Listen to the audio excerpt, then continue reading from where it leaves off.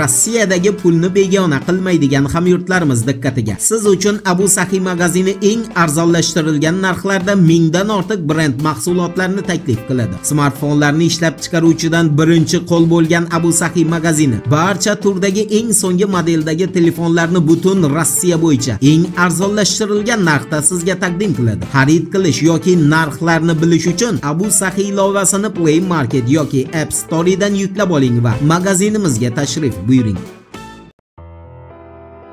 Assalomu alaykum qadrdon muxlis. Siz bilan siz bilgan va kutgan kanal turfoli Union va TRT axborot agentliklarining xabar berishiga ko'ra Vladimir Zelenskiy 28 aprel kuni o'zining faoliyati davomidagi eng dahshatli qarorlardan birini qabul qilgan. TRTni tasdiqlangan ma'lumotlarga ko'ra Vladimir Zelenskiy mamlakat qurolli kuchlariga Kiyev viloyatining Vishgorod tumaniga qarashli bo'lgan Demidov qishlog'ini mazkur qishloq yaqinidagi dambani portlatib cho'ktirib yuborishga qaror bergan va buning oqibatida Demidov qishlog'i butunlay suv ostida qolgan.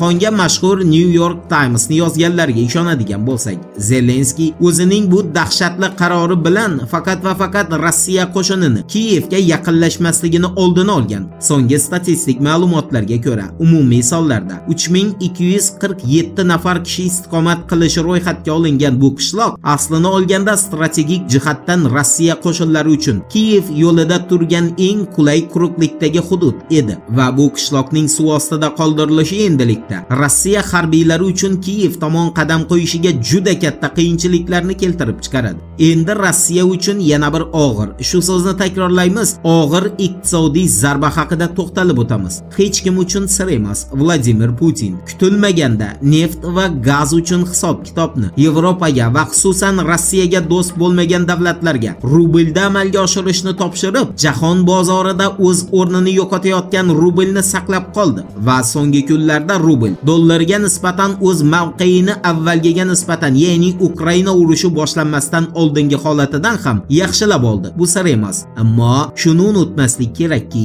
iqtisodiy tomondan davlat g'aznaxonasini boyitish Rossiya uchun faqat rublni ko'tarilishiga bog'liq emas. Endi fakt Aprel oyining yakunlari bo'yicha Focus axborot agentligining aniq faktlariga ko'ra, Rossiya moliyaviy jihatdan o'z o'rnidan sezilarli darajada pastga tushdi. Bunga esa asosiy sabab Xitoy milliy pul birligi sanalmish yuanni narxini aprel oyi yakunida 4 ga pasaygani sanaladi. Xo'sh, sizda shu yerda savol tug'iladi. Nega endi yuanni narxi pasaysa, Rossiya bundan zarar ko'rishi mumkin? Focus axborot agentligining tahlilchilari bu savollarga shunday aniq faktlar bilan javob beradi. Diqqat qiling. Gap shundaki, Rossiya Markaziy banki 104 milliard yuanga ega. Bu esa rasmiy Kreml zaxirasining Amerika Qo'shma Shtatlari sanksiyalarga tushmay qolgan, aniqrog'i ishlatishi mumkin bo'lgan pullarini juda katta qismi edi. Umuman olganda Rossiya Federatsiyasi Markaziy banki zaxiralarini 52% bugungi kunda sanksiyalarga qo'shilgan bir qator mamlakatlar tomonidan muzlatib qo'yilgan. Bu taxminan 3 316 milliard dollar degan gapdir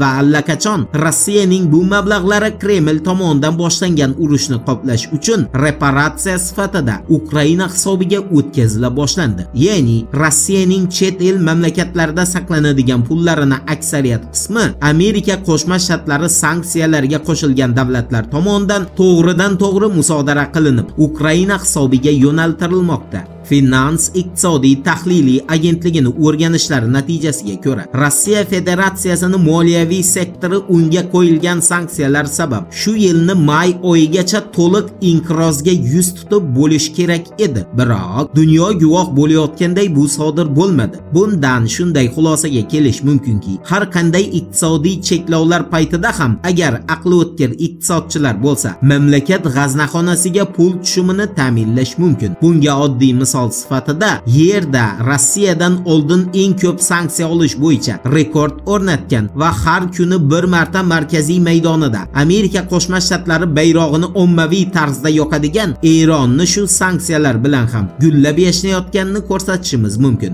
Voqealar rivojini birgalikda kuzatamiz. Turfa olam bilan qoling. Siz kutgan kerakli ma'lumotlar hali oldinda.